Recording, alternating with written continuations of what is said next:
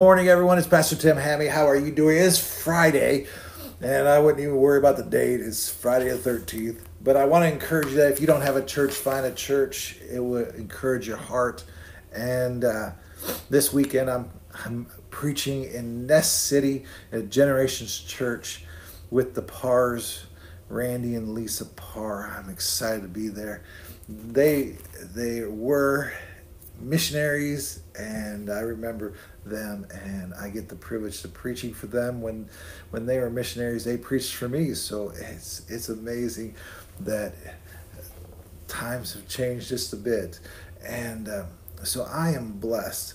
And so today our focus is blessing and favor on our marriage and family.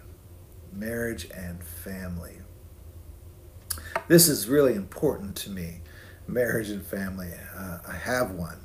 I have a, I'm married to a wonderful wife, godly wife, and I have two uh, lovely daughters, and I have a great son-in-law. And so I'm I am blessed. So I think of this verse. I think of these um, these passage scriptures, and I think about all the different weddings I've done and different marriages and, and even during this time that families struggle and marriages struggle. So listen to some of these passages of scriptures. Um, 1 Peter 3 7, likewise, husband, live with your wives in an understanding way, showing honor to your woman as the weaker vessel, since they are heirs with you of the grace of life, so that you your prayers may not be hindered husbands, love your wives. And there's a verse in the past that love your wives as Christ loves the church. You should always, always. And it's so important to, to love your wives. It's important to love your children. It's they both are a blessing.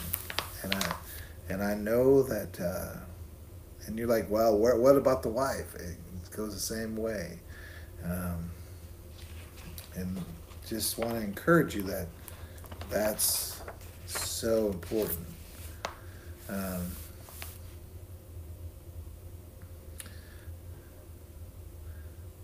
Ecclesiastes 4 9 through 12, two are better than one because they are have a good reward for their toil. For if they fall, one will lift up his fellow, but woe to the one who is alone when he falls has no no other one to lift them up. Again, if two lie together, they will keep warm, but one cannot keep warm alone. And though a man might prevail one against one who is alone, two will withstand him. A threefold cord is not quickly broken.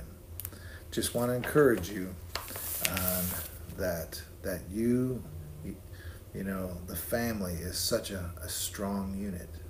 And so I just want to encourage you that remember that. So, really short verse, but just encourage you.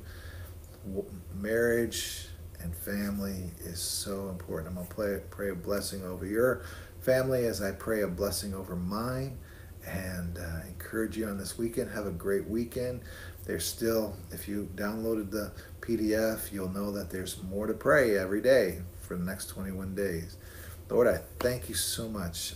Thank you for every marriage and family that is represented in those that are joining in. I pray a blessing over their marriages. But if they're single and they have kids, I pray a blessing over their families.